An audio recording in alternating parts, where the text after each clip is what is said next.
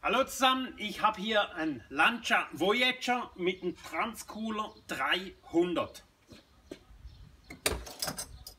Wir haben hier drin 300 Liter Tiefkühlung oder auch Kühlung. Wir haben einen Temperaturbereich von plus 5 oder plus 10 bis minus 25 Grad. Der Transcooler wird hier hinten ins Auto reingestellt, fixiert. Wir haben, wir haben hier die Temperaturanzeige, die kann man hier hinten lassen oder nach vorne ziehen zum Fahrer. Durch das sieht man permanent, was hier für eine Temperatur herrscht. Wir haben Ausschalter, wir können die Temperatur verstellen. Ja, 300 Liter Tiefkühlung in einem ganz normalen Standardfahrzeug.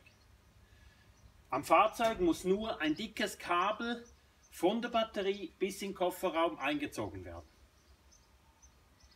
Hier oben mache ich euch ein Video über einen größeren Transcooler. Hier unten über das gleiche Modell. Hier über die ganz großen Transcooler.